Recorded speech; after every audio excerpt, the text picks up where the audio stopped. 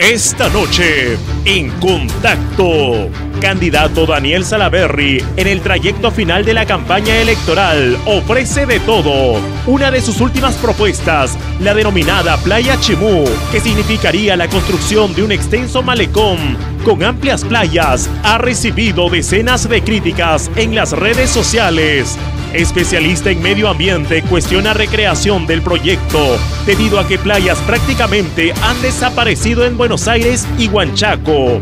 Analista político le pide no intentar sorprender a la población.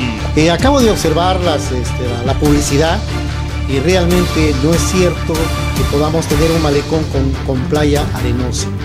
Eso no es posible porque para empezar no hay arena natural. Y dos, al construir el malecón definitivamente se tiene que resignarse a no tener playa de arena. ¿Por qué? Porque sencillamente lo que no tenemos es eso, pues playa. Contacto, porque detrás de la noticia hay noticia. Hoy a las 7 por UCP Satelital.